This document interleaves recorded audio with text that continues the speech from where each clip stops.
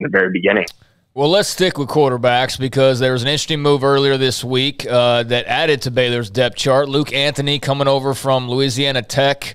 Uh, did not play last year. He's coming off of the, the injury, right? Um, so he's, he's had that injury history, but everything's good to go there. Very experienced, has played in a lot of games, actually played against Baylor, you know, at one point.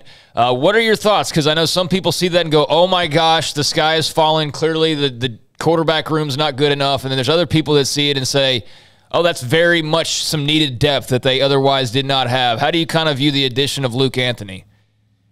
I mean, guys, if you want to turn back the back the clock on that game, I mean, they put up 27 points on Baylor. Mm-hmm. Um, I mean, he he threw for 231 yards, two touchdowns, an interception. I mean, he wasn't dazzling, uh, but he led them to score probably more points than many people thought. And then throughout his career, I mean, the last two years at Abilene Christian threw for 5,544 yards and 40 touchdowns.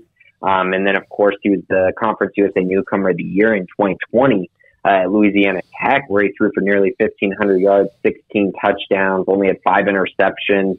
Um, I mean, guys, this is a starting quarterback. I mean, th- this is a guy who started at the group of five level. I would consider him a true starter. He probably could have gone other places and been a starter in group of five. Um, but I think the injury probably set him back. And then also the opportunity to play at a Power Five program was very intriguing to him. Um, and so I think those things combined probably led him kind of to this decision. And I know uh, he's excited about it. He's really excited about the opportunity to come to a Power Five school.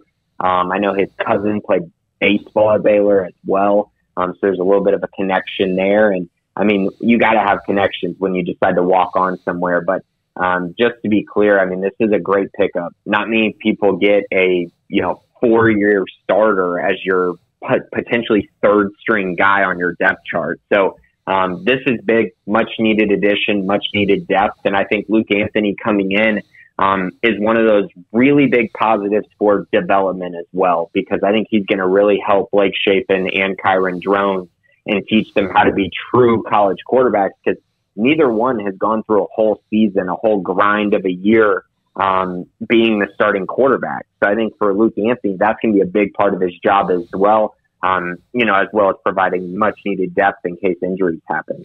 Well, yeah, and I think that the best part about this move is it doesn't stunt anyone's growth at all. I mean, it doesn't, you know, it doesn't change Kyron Drones. It's not like they brought in a guy who could potentially jump in front of him for three years and Baylor would lose him to a transfer. It leaves him in exactly the same spot. Well, and it sticks to what they've told Austin Novosad the whole time as well, right? I mean, because they added this guy, but he's going to be gone next year.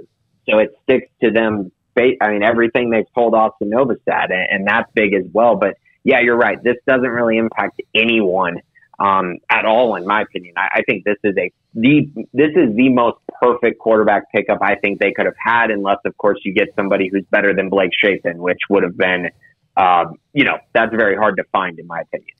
So we saw move-in day a couple of days ago. You know,